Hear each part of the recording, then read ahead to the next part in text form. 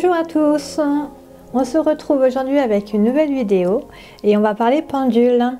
Donc euh, si vous êtes euh, débutant, que vous ne savez pas comment utiliser votre pendule, que hum, par exemple vous avez envie de travailler avec et vous ne savez pas par quoi commencer, si vous ne l'avez pas encore acheté et que vous aimeriez en choisir un mais que vous ne savez pas euh, comment procéder pour euh, l'achat et le choix de votre premier pendule, alors ce livre est absolument euh, génial. alors c'est un livre qui a été écrit par Olivia Burgo et qui a été envoyé par Alliance Magique. Donc on va lire le résumé. Mes premiers pas avec le pendule. Qu'il soit en bois, en pierre, semi-précieuse, en acier, de forme conique ou ronde, les pendules fascinent depuis toujours. Pourtant, ces outils, souvent considérés comme mystiques, traînent leur lot d'idées reçues, auxquelles Olivia Burgo tord ici le coup avec pédagogie et humour. Votre pendule a-t-il sa volonté propre? Peut-il vous bouler Prédire l'avenir? Grâce à ce précieux carnet de bord, naviguez entre théorie et exercices pratiques, évoluez à votre rythme et consignez votre progression. Son contenu structuré et ses nombreuses astuces vous permettront à coup sûr de mettre en exergue votre sensibilité innée dans différents domaines de suivre plus aisément votre boussole intérieure pour être davantage à l'écoute de vos besoins, mais aussi de vous reconnecter avec cette petite voix que l'on nomme intuition. Tout ce dont vous avez besoin, c'est de ce livre, un crayon, un peu de pratique et évidemment votre pendule favori. À propos de l'auteur, Ayant pratiqué et enseigné durant plusieurs années de multiples thérapies énergétiques et holistiques, Olivia offrait un accompagnement personnalisé à chaque personne en demande d'évolution. Elle accompagnait et initiait ses clients à différentes pratiques énergétiques et ou spirituelles en partageant ses expériences afin de leur permettre de mettre en lumière leur propre potentiel. Elle pratique désormais de manière plus personnelle pour son propre bien-être et celui de ses proches, tout en se consacrant pleinement à des projets qui lui tiennent à cœur. Alors celui-là, il est au prix de 16 euros et pourtant il est complet. Enfin, il y a... Moi, j'ai appris pas mal de choses à l'intérieur et pourtant, euh, pourtant euh, j'en ai déjà euh, des livres de, de pendule, mais celui-ci il est vraiment, euh, il est vraiment top parce qu'il ne parle pas que de l'histoire. Euh, il parle, euh, il y a tout en fait dedans. Donc là il y a la biographie de l'auteur. Je vous laisse mettre pause pour le lire. Le sommaire, l'avant-propos, L'introduction, qu'est-ce que la radiesthésie, les idées reçues sur le pendule, l'utilité du pendule, comment ça fonctionne, les origines de la radiesthésie, les différents types de pendules, euh, par exemple les matières, le poids, euh, quel type de, euh, de pendule choisir, utiliser un pendule cassé ou bréché, fabriquer son propre pendule. Donc là, le nettoyage, le rechargement. Ici, vous avez euh, s'approprier un pendule, la mise en pratique. Le questionnement du pendule, mieux comprendre les réactions du pendule les exercices, l'utilisation des cadrans, la radiesthésie à distance avec quelques exercices, le pendule au quotidien pour le bien-être, comment l'utiliser, euh, comment l'utiliser pour notre bien-être, sur le corps physique par exemple, et puis après, vous avez des cadrans à la fin du livre, la conclusion, la biographie et les fiches de suivi personnel. Alors là, les images sont vraiment très jolies.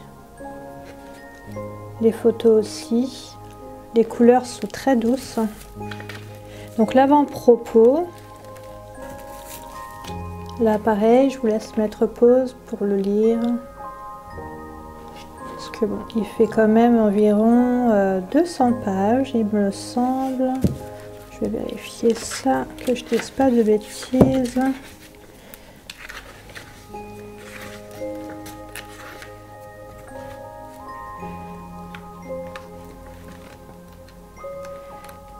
Oui, c'est ça, 200 pages.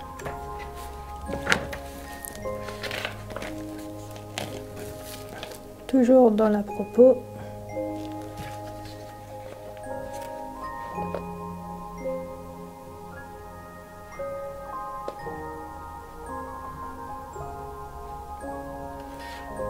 C'est vraiment très joli. L'introduction. Qu'est-ce que la radiesthésie?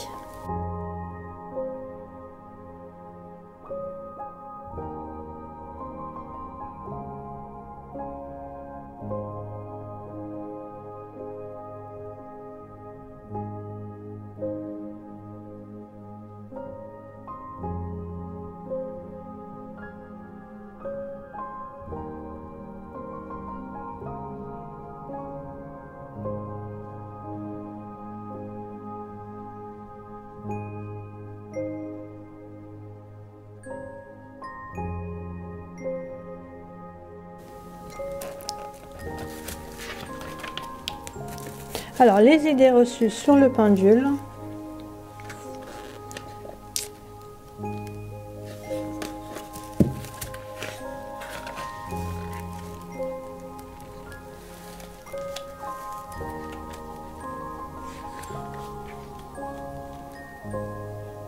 L'utilité du pendule. Comment ça marche?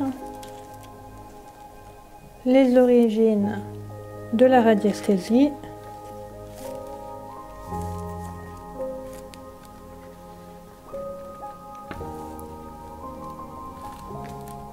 Les différents types de pendules.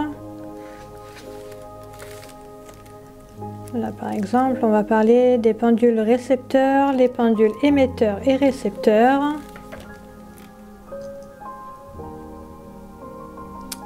Alors en général ils sont comme ceci, les pendules égyptiens.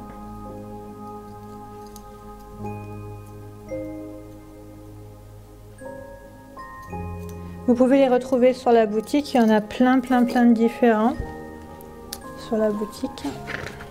Je vous mets les liens juste en dessous si vous, si vous en cherchez.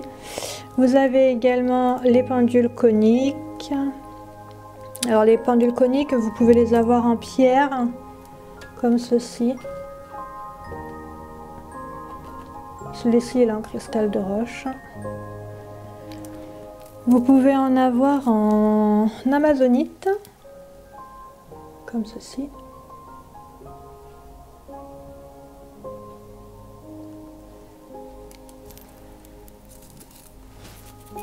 Après, vous en avez en spirale. Alors, en spirale, c'est celui qui était à côté du livre, comme ceci. Je ne sais pas si vous voyez bien.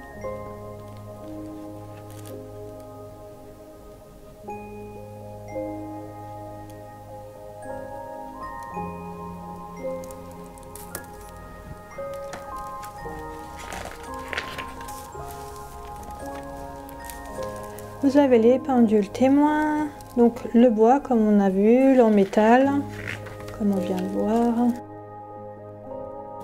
On vient de le voir aussi. Euh, vous avez euh, bah, celui-ci euh, qui ressemble beaucoup à un que j'avais avant mais que j'ai plus. Choisir son premier pendule. Quel type quel type de pendule choisir Tester son pendule avant de l'acheter. La fluidité. Utiliser un pendule cassé ou ébréché. Fabriquer un pendule de radiesthésie vous-même. Les étapes de fabrication.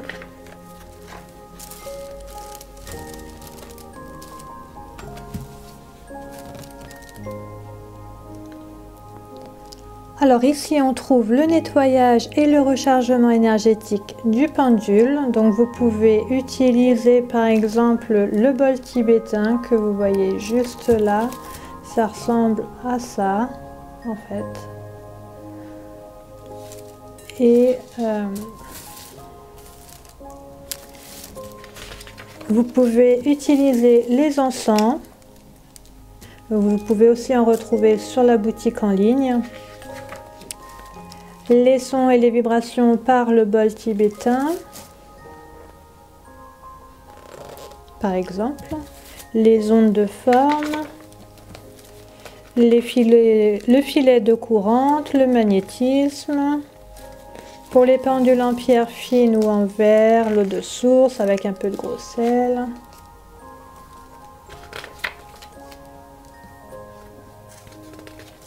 Les méthodes de rechargement.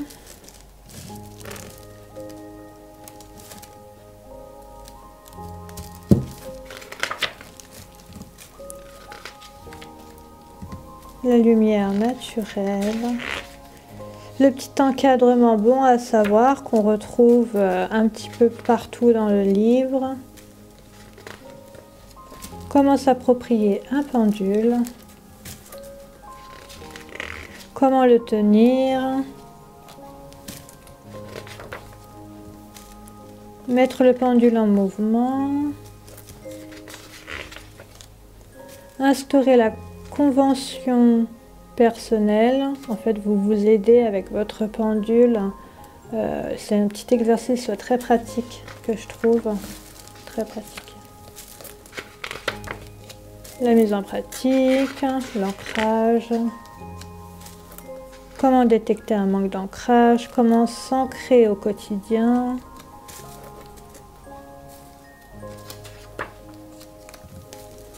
Comment savoir si l'on est bien ancré?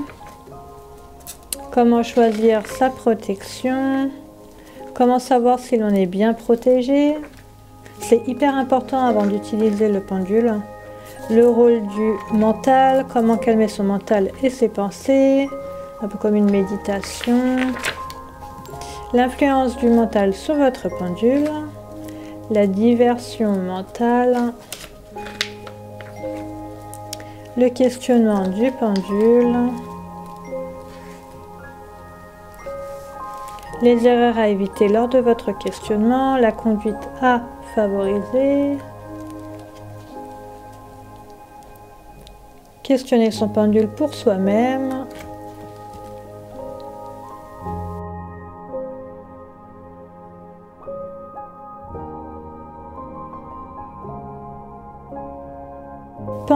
pour une tierce personne.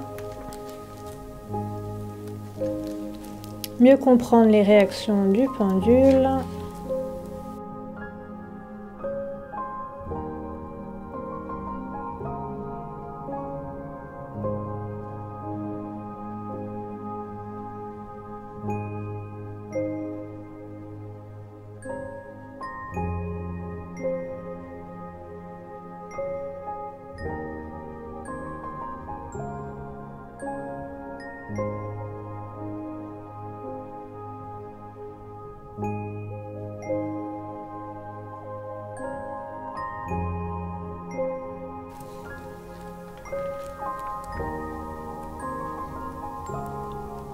Bibliographie, la conclusion qui est juste là.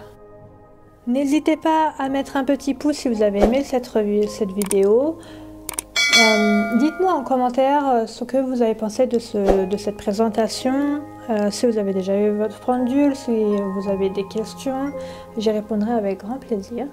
Et je vous dis à jeudi prochain pour une nouvelle vidéo.